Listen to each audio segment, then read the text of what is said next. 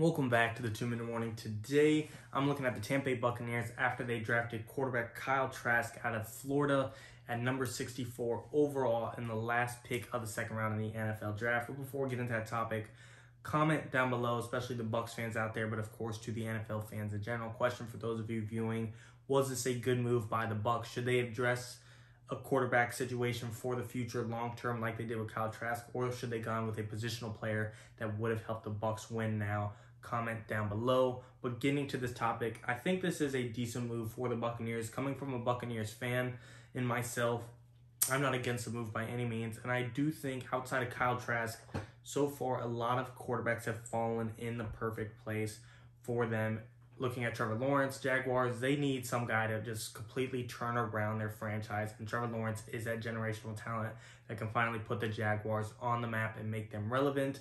Zach Wilson, he's a pretty boy, pretty boy that's going to fit the New York life, it seems like. I'm not the biggest on Zach Wilson, but I do think New York Jets are a good spot for him, and they seem very happy with him as well.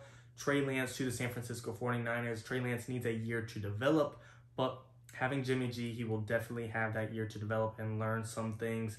And finally, and possibly year to be ready to go and make this Niners team the Super Bowl team. Justin Fields to the Bears. Bears, they have some question marks along the team, but they do have some ballers, especially on the defense with Khalil Mack and Eddie Jackson. Justin Fields has a defense he can rely on. Bears have made some other trades to invest in the offensive line to protect Justin Fields, and he's got a baller wide receiver in Allen Robinson to throw to, and then Mac Jones, a guy who's fell in the first round. He didn't go to the Niners, but he went to the dark side in the New England Patriots, and Mac Jones not being the most athletic guy.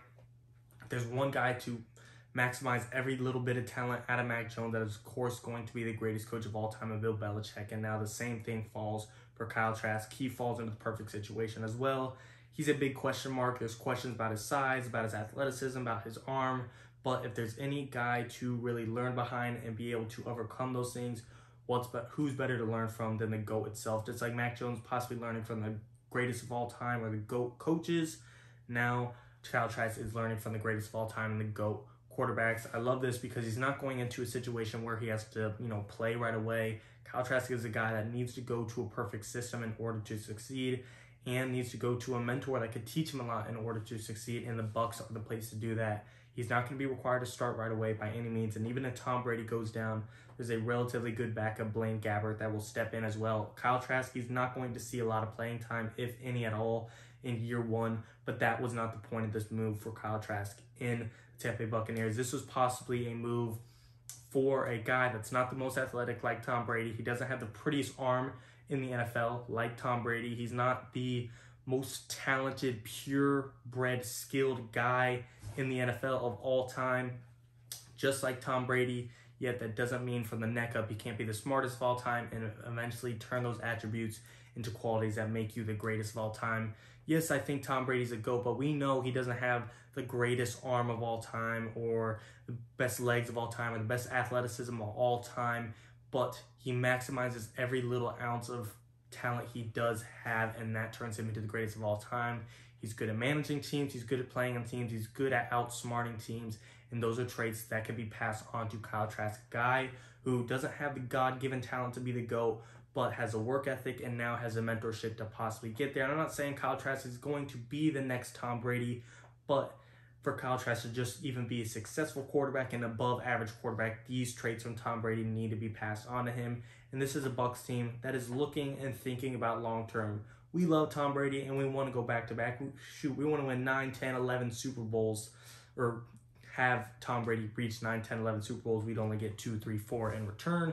But we want to get as many Super Bowls as we can outside of Tom. But that doesn't mean we should just ditch a backup plan or a plan B and have zero plan for the future after Tom Brady. Excuse me. We want to have a long term insight as well to what to do once Tom Brady finally reaches and finally meets father time. How should the Bucs team move on past him? And this Bucs roster is going to be good for Kyle Trask to play against as well in practices. He'll be playing against a top five defense in the NFL. He'll be learning from the best. He'll be playing against the toughest players in the NFL, and he's going to quick get a quick reality check what it's like to be in the NFL but he's going to learn the fastest from Tom Brady and a quarterback guru type of head coach in Bruce Arians.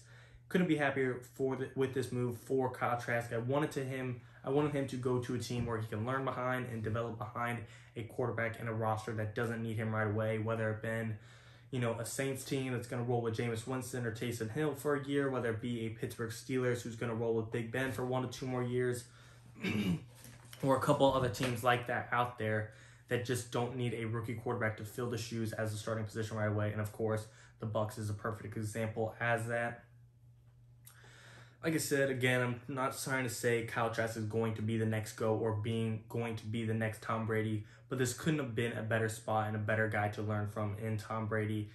He's not the guy he doesn't have the most God-given talent and neither does Tom Brady, but that doesn't mean he can't maximize every ounce of talent he has and go out there and be successful and be a guy that could carry a team, carry his teammates, upbring his teammates, learn about defenses and work harder than anyone else in the NFL. Overall, great move. There are other quarterbacks out there that the, you know, the Buccaneers could have decided to go with. There's David Mills, Davis Mills from Stanford. There's Ian Book from Notre Dame, or there was who Kellen Mond there are other options out there, but I do think Kyle Trask was the right move. He was ranked arguably the sixth best quarterback in the draft, and that's who the Bucs went with. I like it from the Bucs stand. Excuse me. I like it from the Bucs standpoint of view, thinking about a long-term vision and thinking about our future past Tom Brady. And if I'm Kyle Trask, I like this point of view. Hell, I might not play, but there's a chance rookie year I might go out there and win a Super Bowl or at least have a ring on my finger. I might not be playing in the Super Bowl, but I'm going to come out rookie year and head into my sophomore year of the NFL already with the Super Bowl ring on my hand because the Bucs team is so stacked. There's a chance they go back to back. And Trevor Lawrence and Trey Lance and you know Justin Fields or Zach Wilson, they might go on to have more stats and better numbers and actually more playing time in the NFL than me. But these guys might not get a Super Bowl ring their rookie year. That's kind of a flex for Kyle Trask, but of course I'm getting ahead of myself. I'm not sure that's going to happen. But if I'm Kyle Trask, this could not have been a better spot for me. He is not ready for a starting job in the NFL right away, and he needs to learn behind a veteran, a great veteran at that. The, yet he went past that and now is learning behind the greatest quarterback of all time. Great move by the Bucs, like I said. Great, I don't want to say move by Kyle Trask wasn't up to him, but great future for him in my opinion. I would be happy if I'm him. I'm not sure if Tom Brady's unhappy with this pick. Maybe he might be like, "What the hell? I wanted a positional player, an extra receiver, an extra corner I could give us the best chance to win back to back years. I only have so much time left where I can manage and still be productive. But Tom Brady, being a smart dude, being a humble dude, I'm sure he understands the Bucs' long term vision and just understands that nonetheless it's some depth at the quarterback depth chart. All it takes is Tom Brady to go down and maybe Kyle Trask turns out to be good enough to be the number two on this team. Either way, there's little downside in my opinion from the Bucs from this pick. I like it long term. I like Kyle Trask in his possible future behind Tom Brady, and once he's gone, his possible future with the Tampa Bay Buccaneers. It's a great move overall. But of course, comment down below your guys' opinion.